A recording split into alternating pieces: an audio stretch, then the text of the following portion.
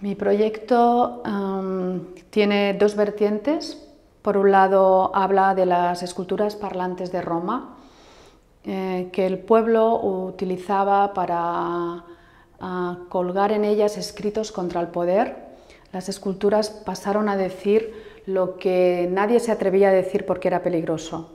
Entonces, por un lado tengo ese tema, conversaciones con Pasquino, o sea, piedra y escritos, y por otro lado tengo la tábula cerata, eh, cera y escritos, porque los romanos escribían en tablillas de cera.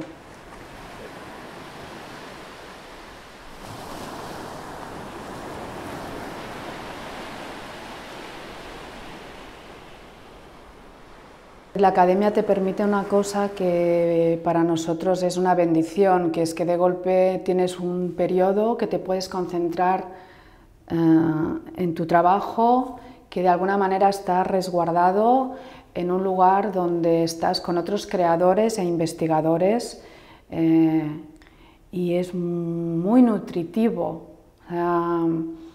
esta interacción es muy rica. Y esto en tu estudio a solas no lo puedes hacer. En cambio, aquí se dan unas circunstancias muy especiales.